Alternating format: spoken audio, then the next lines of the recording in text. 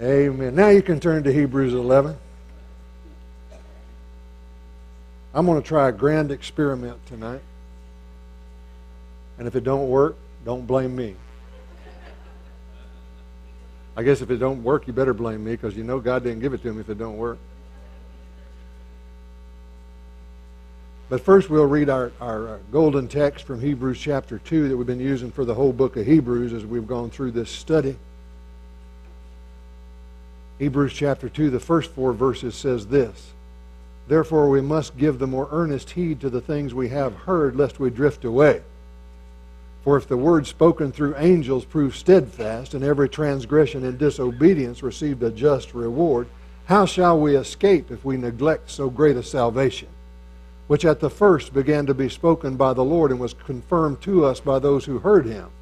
God also bearing witness, both with signs and wonders, with various miracles and gifts of the Holy Spirit according to his own will. We have been coming through the book of Hebrews for many, many weeks now and we've gotten all the way to chapter 11 in the grand comparison of the greatness of the salvation that's ours in Christ and how much better it is than the works of the law. Amen. How much better it is than angels, how much better it is than Joshua, how much better Jesus is than Moses, how much better Jesus is than even the words of the prophets, that he was a fulfillment and a completion and the substance of those things that we saw under the old covenant. Amen. And the, the warning of the author of Hebrews is don't try to go back and do things that didn't work in the first place. He said the problem with the law was what? Us. We were the problem with the law. The law was the word from God. The law did exactly what it was supposed to do it exposed the problem. And the problem was us. What was required was a change in what? Us. Glory to God. So we needed a greater high priest than the law provided under Aaron. So we have a new high priest, the Lord Jesus Christ, who is a priest forever after the order of Melchizedek. Y'all catching on? Amen. And uh, our new priest, we began in chapter 8, you know, uh, the verse, first verse of chapter 8 told us, uh, and we have such a high priest. Here's the point of all the things we've been saying, he said. We have such a great high priest. And he began to describe the wondrousness of this priest, the Lord Jesus Christ. And then uh, we went through chapter 9, chapter 10, talked about the greatness of all the things that have been fulfilled under the new covenant with this new priest, this uh, new commandment based on new and better promises. Amen. And then how are we going to live free from a law that was passing away, that had become vain and useless? Under this new priesthood, how do we operate in this new priesthood? At the end of chapter 10, he gave us a great and grand and glorious conclusion. He said, We live by faith. The just shall live by faith. We are not of those who draw back unto to perdition, but we are those who continue unto the saving of our souls, living by faith. Glory to God.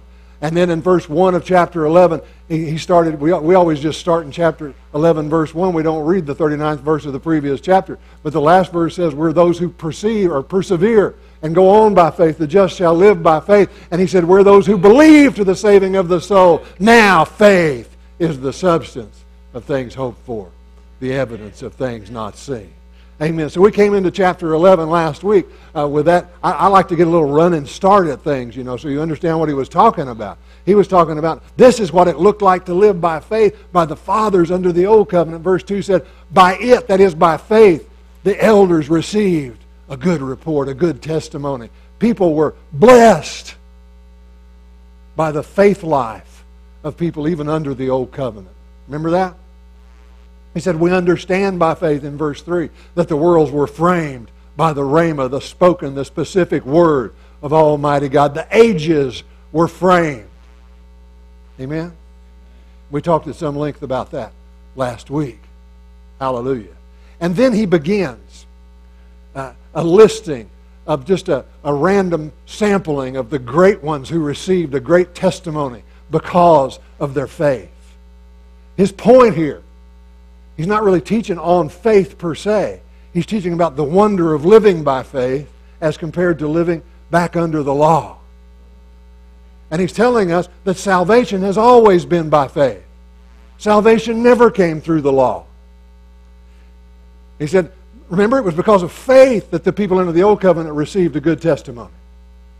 We never go and, and, and under the old covenant, you never see anybody writing books about how well they gave burnt offerings. Nobody ever says, follow Abraham because he sure knew how to, bull, to burn bulls. No, they say follow Abraham because he lived by faith. Amen. Amen. They extolled people for the wonderful things they did by faith. Amen. So he starts giving us a long list of what people did by faith under the old covenant. Are you with me so far? Now, here's the challenge. And I have fallen prey to this myself over the years, and there's nothing wrong with it. But what we usually do is get into chapter 11 and we go through, or I do, I have taught, if you go back through the archives of, of Faith Christian Fellowship, you will find verse by verse teaching in chapter 11, stopping one sermon or two or three or four or five sermons, if you know me, on the, uh, sometimes on each one of these guys and the things they did by faith and what we learn about faith. Why? Because we were studying faith. Right? I mean, there's nothing wrong with that. You can certainly learn a lot about faith. But that wasn't the point he was trying to make. And so, as an experiment, y'all just stay with me. Everybody say experiment. I want to start, if I can get my Bible to come up here.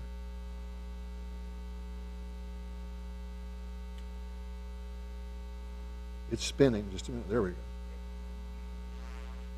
I want to go to Hebrews 11. I want you to get your Bibles out. And I think for the purposes of this exercise, I'm going to try to read from the New Living Translation because it's easier for people like me that don't read very well.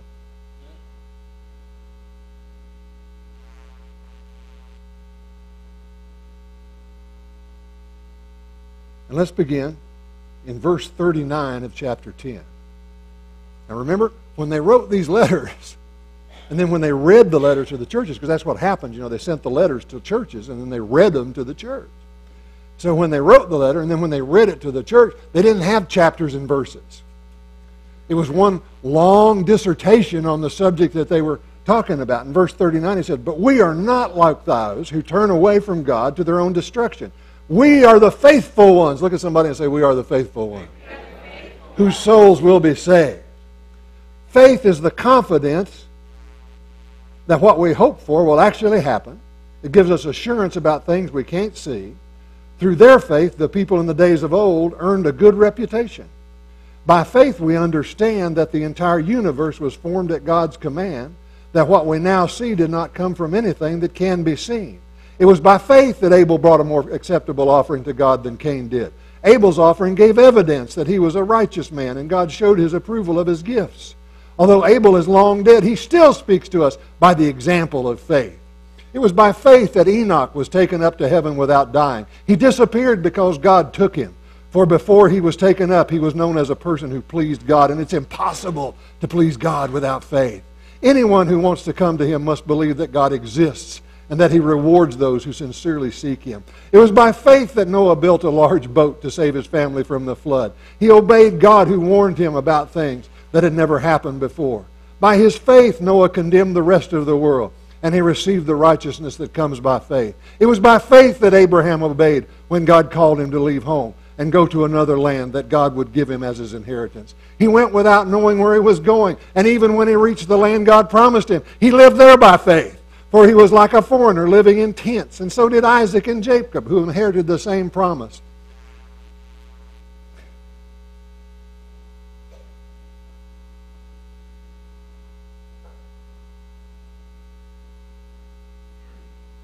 Abraham was confidently looking forward to a city with eternal foundations, a city designed and built by God. It was by faith that even Sarah was able to have a child, though she was barren and was too old. She believed that God would keep his promise, and so a whole nation came from the one man who was as good as dead. A nation that so many people, that like the stars in the sky and the sand on the seashore, there's no way to count them. All these people died still believing that what God promised them would come to pass. They did not receive what was promised, but they saw it all from a distance and welcomed it. They agreed that they were foreigners and nomads here on earth. Obviously, people who say such things are looking forward to a country they can call their own. If they had longed for the country they came from, they could have gone back. But they were looking for a better place, a heavenly homeland. That's why God is not ashamed to be called their God, for he has prepared a city for them. It was by faith that Abraham offered Isaac as a sacrifice when God was testing him. Abraham, who had received God's promises, was ready to sacrifice his only son, Isaac, even though God had told him, Isaac is the son through whom your descendants will be counted. Abraham reasoned that if Isaac died, God was able to bring him back to, the, to life again. And in a sense, Abraham did receive his son back from the dead. It was by faith that Isaac promised blessings for the future to his sons, Jacob and Esau. It was by faith that Jacob, when he was old and dying, blessed each of Joseph's sons and bowed in worship as he leaned on his staff. It was by faith that Joseph, when he was about to die, said confidently that the people of Israel would leave Egypt. He even commanded them to take his bones with them when they left. It was by faith that Moses' parents hid him for three months when he was born. They saw that God had given them an unusual child, and they were not afraid to disobey the king's command. It was by faith that Moses, when he grew up, refused to be called the son of Pharaoh's daughter. He chose to share the oppression of God's people instead of enjoying the fleeting pleasures of sin. He thought it was better to suffer for the sake of Christ than to own the treasures of Egypt, for he was looking ahead to his great reward. It was by faith that Moses left the land of Egypt not fearing the king's anger. He kept right on going because he kept his eyes on the one who was invisible. It was by faith that Moses commanded the people of Israel to keep the Passover and to sprinkle blood on the doorpost so that the angel of death would not kill their firstborn sons. It was by faith that the people of Israel went right through the Red Sea as though they were on dry ground. But when the Egyptians tried to follow, they were all drowned. It was by faith that the people of Israel marched around Jericho for seven days and the walls came crashing down. It was by faith that Rahab the prostitute was not destroyed with the people in her city who refused to obey God, for she had given a friendly welcome to the spies. How much more do I need to say? It would take too long to recount the stories of the faith of Gideon, Barak, Samson, Jephthah, David, Samuel, and all the prophets. By faith, these people overthrew kingdoms, ruled with justice, and received what God had promised them. They shut the mouths of lions, quenched the flames of fire, and escaped death by the edge of the sword. Their weakness was turned to strength. They became strong in battle and put whole armies to flight. Women received their loved ones back from the dead. But others were tortured, refusing to turn from God in order to be set free. They placed their hope in a better life after the resurrection. Some were jeered at, and their backs were cut open with whips. Others were chained in prisons. Some died by stoning. Some were sawed in half, and others were killed with the sword. Some went about wearing skins of sheep and goats, destitute and oppressed and mistreated. They were too good for this world, wandering over deserts and mountains, hiding in caves and holes in the ground. All these people earned a good reputation because of their faith. Yet none of them received all that God had promised for God had something better in mind for us so that they would not reach perfection without us. Therefore, since we are surrounded by such a huge crowd of witnesses to the life of faith, let us strip off every weight that slows us down, especially the sin that so easily trips us up, and let us run with endurance the race God has set before us. Amen. What I want you to catch is the purpose of chapter 11 is not so we can study faith, so that we'll understand that all of the people who lived and died for this gospel through the centuries did it in anticipation of the better thing that God has provided for us. Hallelujah. Amen. Glory to God. Now, let's go back up and just kind of walk through a few of these things. First of all, remember that faith comes by what? And hearing by the what? Word of God. So if these guys lived by faith, where'd their faith come from? What word is that?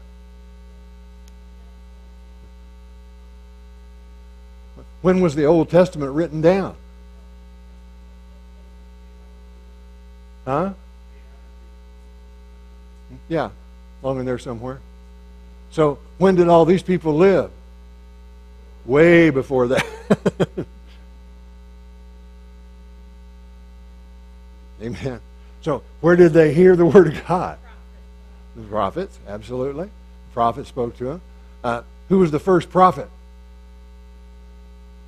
that the Bible recognizes, tells us as a prophet? I believe that, that Moses, Moses, hello, Adam was a prophet.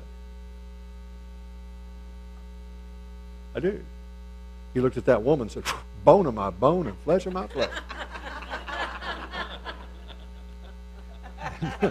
he did. He commenced to prophesy right there. But the Bible tells us the first prophet was who? Who? Yeah, Jesus said. All the prophets from Abel to Zechariah. Amen. So Jesus uh, named Abel as the first prophet. That gives us a little clue as to why his brother killed him.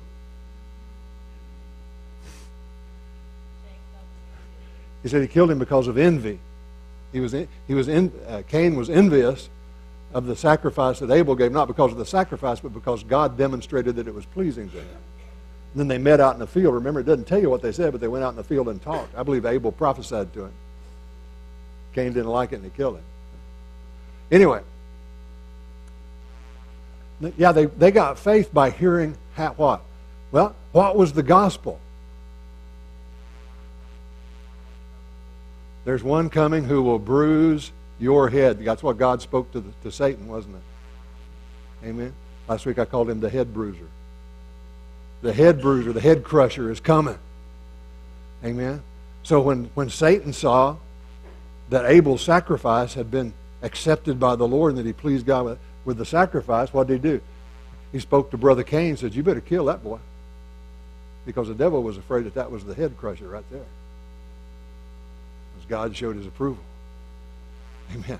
So, but how did Abel and Cain hear about the head crusher?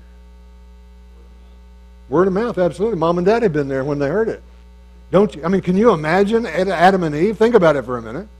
Don't you know they started telling their kids? You wouldn't believe what happened before you were born. we used to just walk through the garden, you know, and chat with God. Then one day, Daddy ate the apple, and you see what happened now, don't you? I mean, you know they were telling this story. I mean, th- think about it for a minute. This had to be pretty amazing. You know? They're telling this story. You can actually follow the overlapping lives of people all the way from Adam and Eve to Jesus, recounting up and through the prophets, obviously. Once the prophets started prophesying, they uh, uh, prophesied about Jesus. So we know Abel must have prophesied about the coming head crusher. He was the first prophet. Amen. But from that point forward, there were actually people there who either were there personally, like Adam and Eve, or had been personally in contact with Adam and Eve. That would have been Abel, Cain, and of course Seth. Right? But then you can follow that all the way through Enoch. He was 65 years old when he begot Methuselah. You know what Methuselah's name means? It means it means when he dies, it will happen. you know what happened when Methuselah died? The flood. No, but you can go back through the begot. One of the reasons the begats are in Genesis chapter 5 is you can follow the overlap of the lives all the way from, from uh, Eden to the flood. Somebody was alive who had either in the garden or had talked to the previous generation and heard the story of what? the fall of man, the prophecy of the head crusher. There's one coming, the seed of a woman, who's going to crush the serpent's head. Amen. So they heard from other people, through the prophets, from people that had been there and heard about it, and some of them heard how? Well, with Abraham, God just kind of walked in the room and started talking to him. Amen. Amen. So, I mean, if God walks in your room and talks to you, faith comes. No, they had, I don't mean to be facetious, they had, they had specific personal revelation from God. Amen. Faith come by hearing that word, don't it? Amen. Amen. So all the way through the Old Testament, their faith came the same way yours does. Somebody who had been there told them about it. how does how do, do, books get in the Bible? How did the the, uh, the canon of Scripture uh, come to to be recognized? One of the qualifications was it was either somebody that was with Jesus or somebody that was one of the church fathers in the first century that was around the people that were with Jesus. Had to be written by some of them. So, how does your faith come from the Word? It comes the same way theirs did. You got it from somebody that was there. Amen. Amen. So, uh, when we hear preaching from the Word, that's what we're hearing is the testimony of those who were there or who knew that first generation that were there. Are you with me? Okay. So, faith comes by hearing, and hearing by the Word of God. You can follow that train of faith all the way to the Lord Jesus Christ. So, faith came to them the same way it comes to us, but they didn't have a written Bible until uh, Moses commenced writing. Amen. So, well, let's walk through Hebrews chapter 11. And uh, by faith, Abel, we've already talked about Abel. So we'll move along to Enoch. What can we learn from Enoch? Verse 5. How many got your Bibles open? How many got your Bibles open? How many can read? Read verse 5 and 6. By faith, Enoch was taken from this life so that he did not experience death. He could not be found because God had taken him away. For before he was taken, he was commanded as one who pleased God. And without faith, it is impossible to please God. Amen. So Enoch was taken away. Anybody know where that is? Genesis 5.24. So. Genesis chapter 5, the 24th verse. It's right in the middle of the begats. If you're not careful, you'll skip the begats and miss some good stuff. Amen. So, what do we learn from Enoch? Faith pleases God. He never tasted death. He walked with God. But what do we learn about faith? He that cometh to God, what? Must what? Must what? Believe. There we go. That has something to do with faith, doesn't it? Yeah. Believe. Okay. Must believe what? That he is and did you know you can't come to God by just believing He is? A lot of people going to hell believe God is. The devil believes God is. He believes it better than you do because he doesn't met him face on. Amen. on a couple of occasions. Neither one came out well for him. you got to believe that God is and that he is a rewarder of them that diligently seek him. Amen. So we learn that from Enoch. Who's after Enoch? Noah. Okay. Who's got their Bible and read? Everybody quit reading since then. You got your Bible? Read verse 7. By faith, Noah, being warned by God concerning events as yet unseen, in reverent fear constructed an ark for the saving of his household. By this he condemned the world and became an heir of the righteousness that becomes by faith. Hallelujah. Amen. So where's that story? Genesis 6, the next chapter from Enoch. So, 6, 7, 8, 9. So the, the uh, so what do we learn from Noah? And what does this verse tell us about Noah's faith? By faith Noah did what? He did what? being divinely warned by faith Noah, not yet seen, he did what?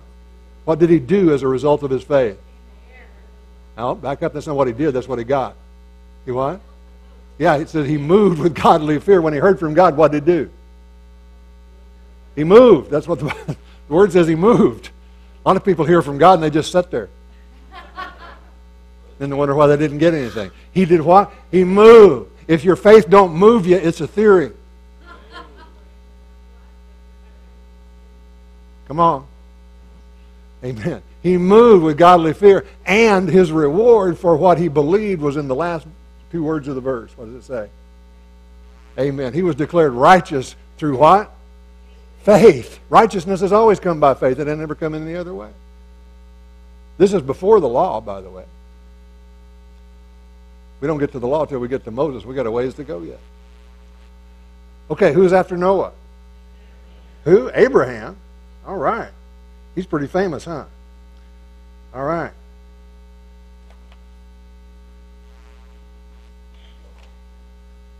Who's next? 8, 9, and 10. Come on, I need a reader. I need a reader. I need a reader.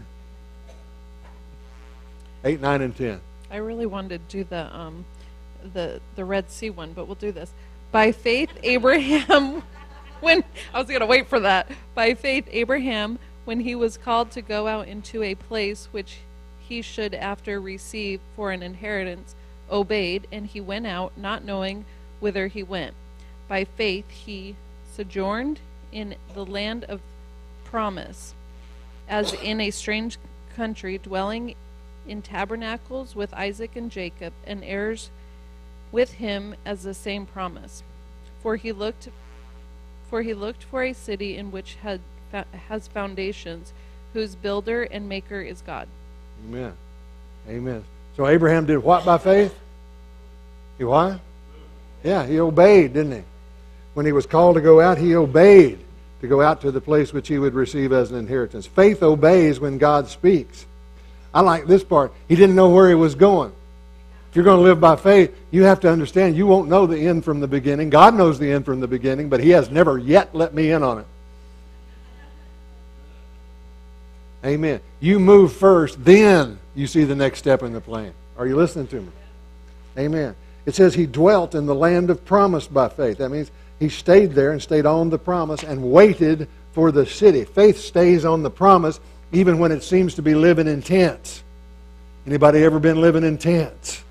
Amen. Maybe figuratively speaking, but sometimes I feel like we're wandering, don't it?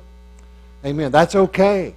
Why? Stay on the promise. Faith waits for the blessing of God rather than trying to make provision for it itself. You can certainly learn, learn that from Abraham. But verse 11 is one of my favorite verses. I need a female to read this one. You going to read verse 11 for me?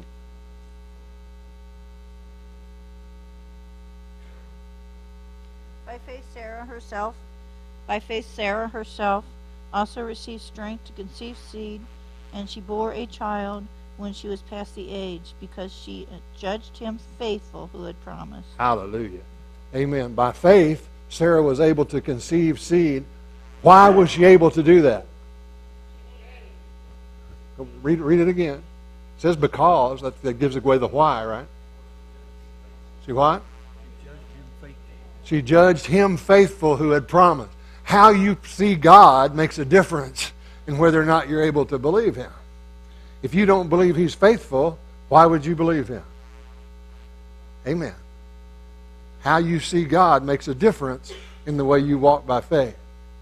Then I, I, I was just touched by this next verse.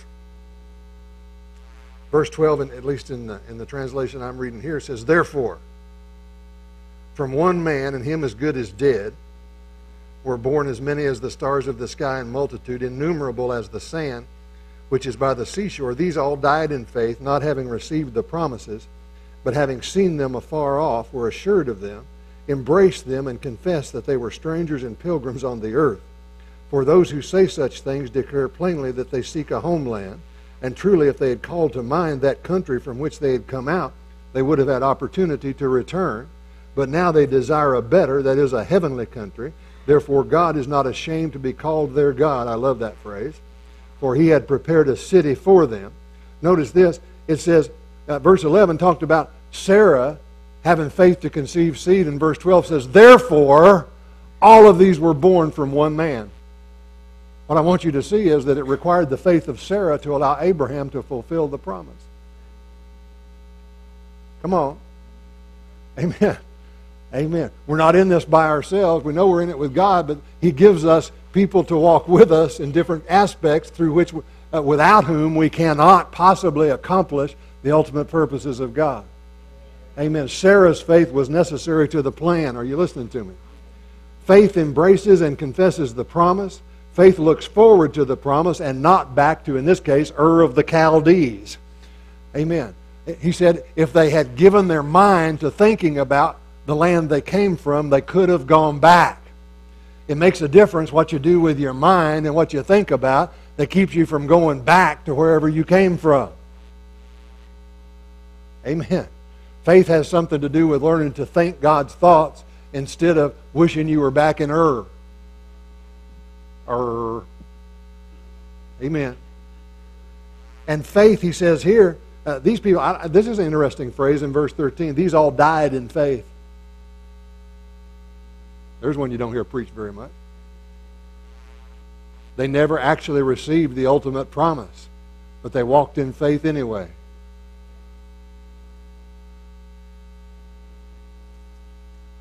Amen. Verse 17 continues to talk about Abraham. Who wants to talk about Abraham's testing? 17 through 19. It was by faith that Abraham offered Isaac a sacrifice when God was testing him. Abraham, who had received God's promise, was, was ready to sacrifice his only son, Isaac, even though God had told him, Isaac is a son through whom your descendants will be counted. Abraham reasoned that if Isaac died, God was able to bring him back to life again. In a, in a sense, Abraham did receive his son back from the dead. Amen. Amen. Amen. Now, the Bible actually says that God preached beforehand the gospel to Abraham. Did you know that? Says it twice, actually. Implies it twice, anyway, in Galatians and again in John's gospel. Jesus talked about before Abraham was, I am. Remember that? The, uh, but this tells us what, what, what do we learn from this about the faith of Abraham? By faith, Abraham did what? Huh? When he was what? Tested. Now, notice this, he wasn't he wasn't tempted to do evil. What was his test? The test was what then? Obedience, exactly. The test was, I want you to go offer Isaac on, on the mountain that I will show you. I always loved that. He didn't know where he was going when he left camp. Where does this happen? Where is this? No, no, I mean this. Where, where is this located in the Bible? Genesis 22. Genesis 22. So, uh, God first spoke to Abraham in Genesis 12. Genesis, or, uh, Abraham was what? How old was he when, when Isaac was born? He was about 75 when they first started out. So he wandered in the, in the, uh, the wilderness for about 25 years and finally got Isaac. And at this point in time, most commentators believe Isaac was about 30. So when he talks about taking Isaac up the mountain and, and giving him as a sacrifice, it's not a little baby he's carrying up the mountain. It's a grown man. Remember, he had Isaac carry the wood. what are we doing with the wood, Dad? I'll tell you when we get there. Amen. Amen. So think about this for just a minute. Isaac had to do what? Think about Isaac's faith. Amen. He had to be, believe his dad because he could have knocked daddy over and run back down that mountain. Amen. Amen. So Abraham knew that God could raise Isaac from the dead, I believe, because he knew that God would raise Jesus from the dead. Because why the gospel was preached beforehand to Abraham. He knew what was coming. And he knew that if God was to give his only begotten son, that he would have to offer his if he was a covenant man. Amen. That's a whole other story. We'll do that on Easter sometime. He said, he concluded, verse 19, that God was what? Able. Faith believes that God is able. Look in Romans chapter 4 when it describes Abraham sometime. It says exactly that. Believing that he was able who had promised. Amen. All right, how about verses 20? I'll get there in a minute. 21 and 22. Who's going to read for me? 20, 21, and 22. Mike, going to read for me? By faith, Jacob, when he was dying, blessed each of the sons of Joseph and worshiped leaning on top of his staff. By faith, Joseph, when he was dying, made mention of the departure of the children of Israel and gave instructions concerning his bone. So, By faith, all three of these guys did what? Huh? They spoke blessing and prophecy over their over their generation, over their children. Faith speaks blessing over the next generation. Amen. Amen. All right.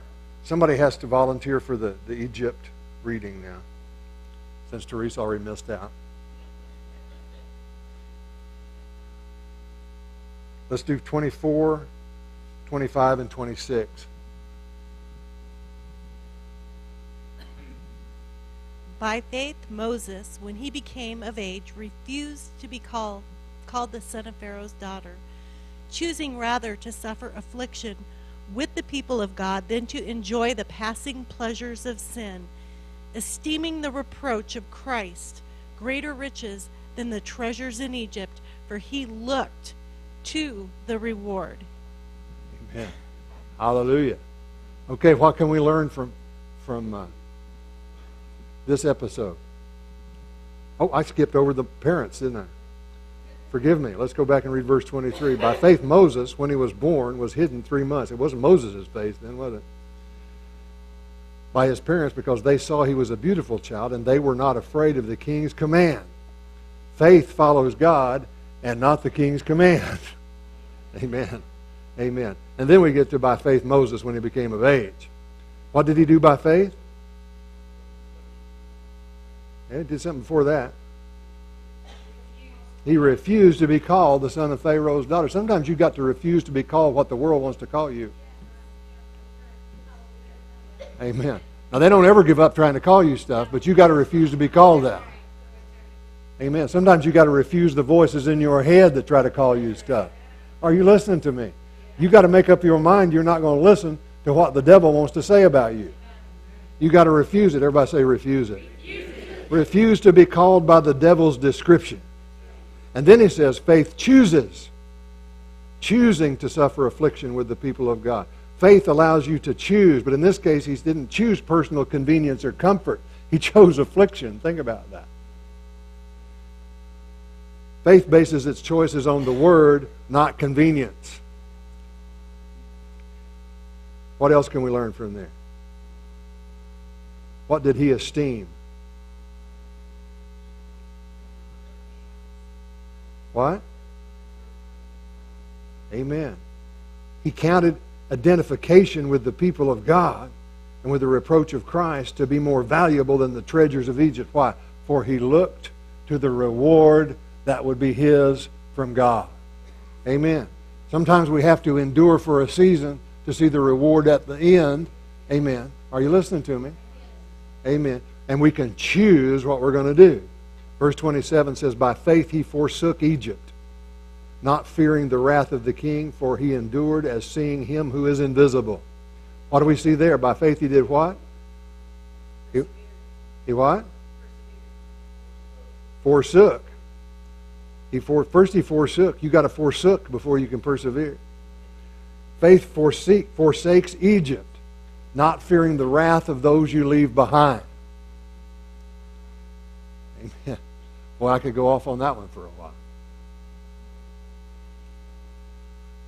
Yeah, I'm, I'm going to uh, hang around with my old buddies and friends and sweethearts and so forth, and because I'll get, I'll lead them to the Lord. No, you won't. They'll drag your hiney right back to Egypt. Amen. Change your playmates, your playpen, everything else. Amen. You can commission somebody else to go back after them. You don't need to go back. Amen. And don't be afraid because they get mad at you. That's also in Second Peter, First Peter, pardon me. He says he also says what? He did it how? Enduring or persevering as what? What inspired him to? Per- That's right. He was looking at invisible things instead of things that he could see, and it enabled him to persevere. Does that remind you of any New Testament verses? Which one? Amen. 2 Corinthians 5 7. For we walk by faith and not by sight. And then verse 28 says, By faith he kept the Passover and the sprinkling of blood, lest he who destroyed the firstborn should what? Touch them. So he kept the Passover by faith and the sprinkling of blood. You remember that story?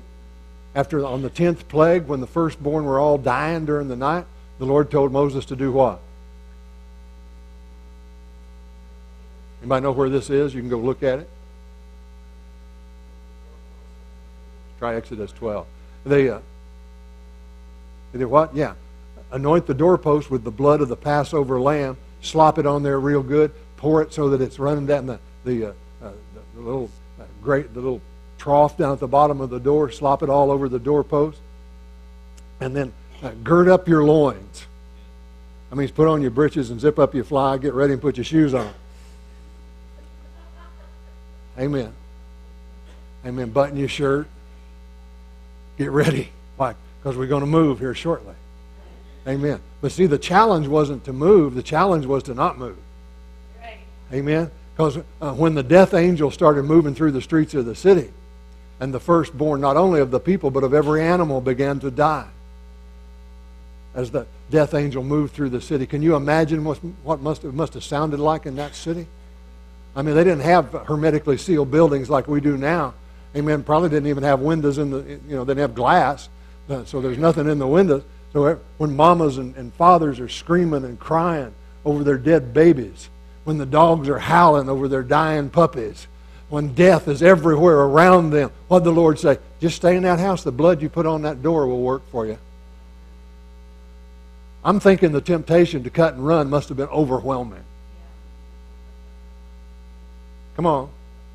But God said, when I see the blood, I will pass over you. Hallelujah. Amen. Thank God for the blood. Faith stays and obeys in the face of seeming danger and gets prepared for the promise. Faith stands steady when the world around it is screaming like banshees. Amen. And then it says, By faith they passed through the Red Sea as by dry land, whereas the Egyptians attempting to do so were drowned. That's Exodus 14, by the way. We won't read all of it.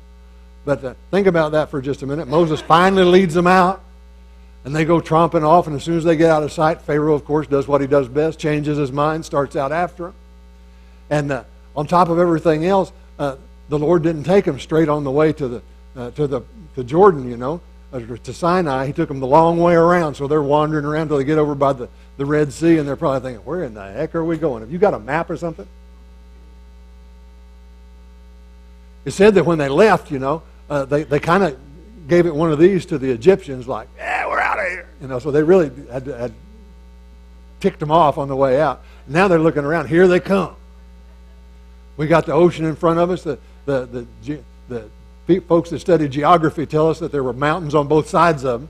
So they're caught. Amen. They got the Red Sea in front of them. They got mountains on both sides of them. And they got the Egyptians behind them. So far, they've been led as they were going by what? What, what led them when they're moving through the, the desert? Fire by night and a cloud by day. It says the Egyptians got just about up on them, and suddenly the cloud and the fire moved in back of them between them and the Egyptians. Amen. And then, they go read the story. Uh, Moses didn't know what to do. And they started to pray, and God said, Quit praying. Sometimes you got to know when to quit praying. He said, Quit praying and cross that sea. Oh, good idea. He said, He told Moses, said, You lift your hand and I'll part the waters. But do you know how long it took to part the waters? All night. Did you read the story? The wind blew all night. My mom, sometimes faith takes longer than you want it to. I'm on it right now. Can we please? But call the helicopter. I'm out of here. No, think about that for a minute. The Egyptian army is standing there, and the only thing between you and the Egyptian army is what? That pillar of fire and in front of you is the ocean, and all of a sudden, that wind starts to blow. I don't know what that must have sounded like or looked like, but it must have been pretty impressive if you think about it for a minute. And, and it caused the water to pile up, the Bible says, on both sides of them. Right? And then the Lord says, okay, walk across. You walk across. Amen. I mean, I don't know what it looked like. I, I just know what it looked like when Charlton Heston did it. Right? It's pretty impressive. Isn't it? But I suspect in real life it was probably more impressive than that. Amen. Amen. And so they walked all the way across on dry land. Hallelujah. If you wait on God, amen, eventually you'll make it without having to change your shoes. And then, of course, uh, when they got across and the Egyptians tried to follow, then Moses turned back and waved his hand again. And bad day for the Egyptians. Amen. But faith follows the Lord when the enemy is chasing, when the winds are howling, and when there seems to be no way of escape. When the man in charge says march, march. Hallelujah. Amen. Now, up to this point in time, everybody and every episode that we have named happened before there was a law. These were all people that were operating with no written scriptures. The law came where? When they finally got to Mount Sinai and got across the Red Sea. Amen. So then we go to what? Jericho.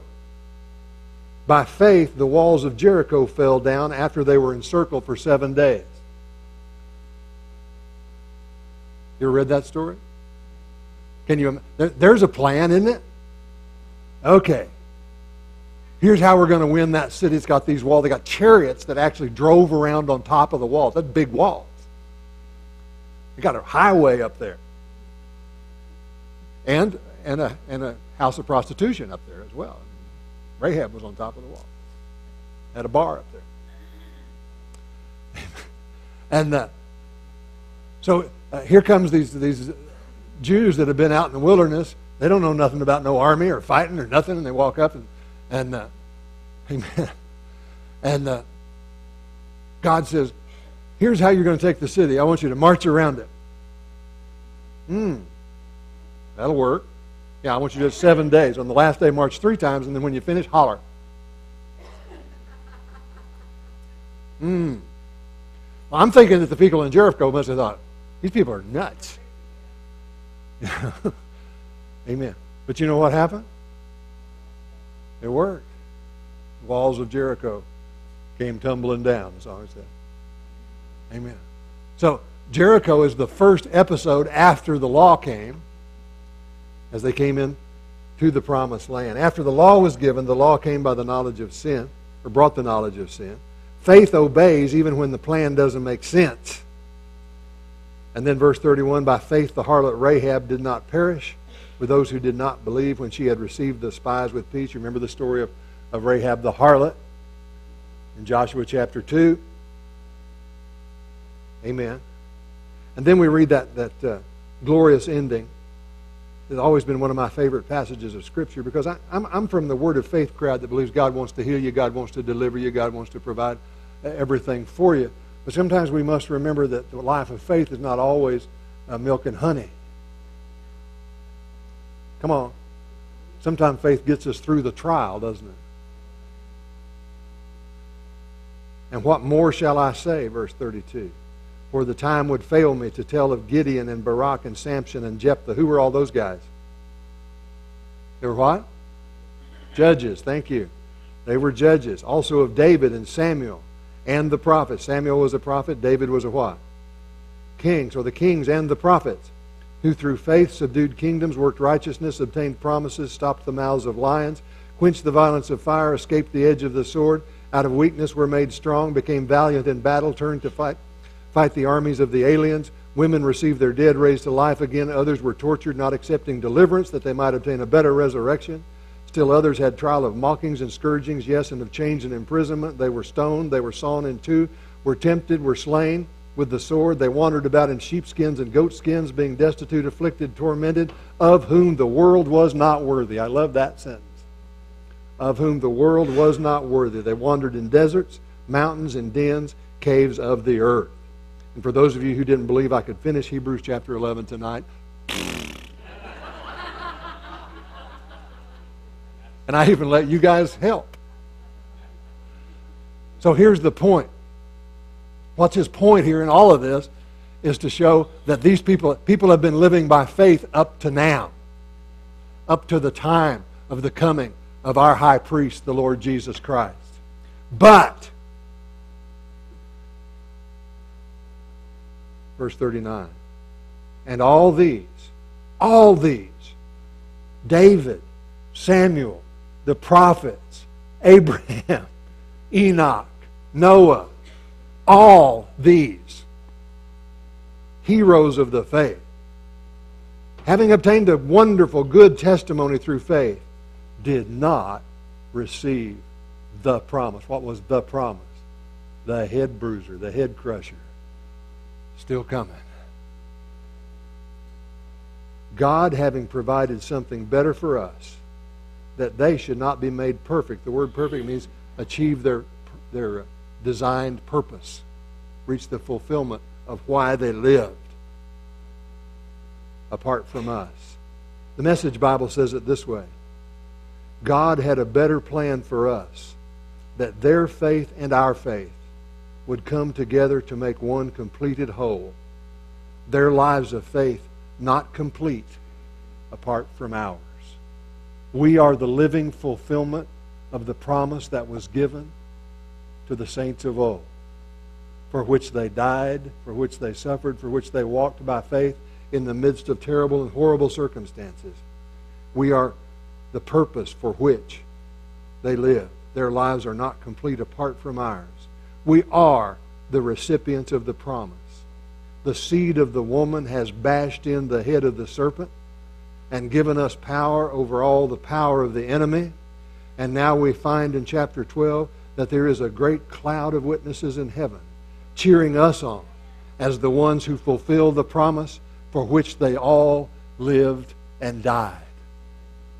Therefore, since we are surrounded by such a huge crowd of witnesses to the life of faith, let us strip off every weight that slows us down, especially the sin that so easily trips us up, and let us run with endurance the race that God has set before us.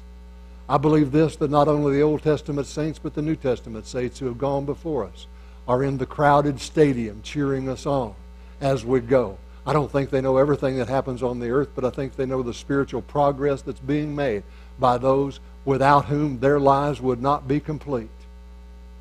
Amen. And when we take one step forward, there's a cheer in the stands. Amen. Hallelujah. A great cloud of witnesses. Next Tuesday night, we will take a time out in our ongoing progress to uh, take a little time to honor one of those who is in our great cloud of witnesses. We're going to have a memorial service next Tuesday night for Lloyd Capristo. Amen. Who went to be with the Lord, uh, what, about a month ago now? And, uh, amen. And uh, we just want to honor her and give people, so, so, many of us knew her so well for so long, and appreciated her service, that uh, we're just going to give a Tuesday night over to honoring her and, and uh, probably some of the others that are sitting up there with her.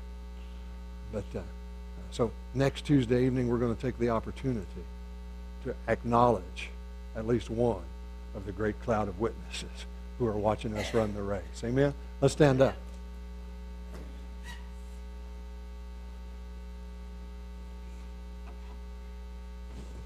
Glory. Amen, amen, amen. Thank you, Lord Jesus. Thank you, Lord Jesus. Lift your hands up and just worship Him for a moment, would you? Oh, we bless you, Jesus, and praise you. We bless you, Jesus, and praise you. Worship your holy name. We worship your holy name. We thank you for the great cloud of witnesses. We thank you for those who lived faithfully before us so that we could step in to the wonderful blessing and the promise that we have in this hour. Jesus Christ, our great high priest. Jesus Christ, the author and the finisher of our faith. Jesus Christ, the example that we have to follow as we run the race that's set before us. Thank you for the privilege of laying aside every weight and the sin that so easily besets us to fulfill the plan and the promise.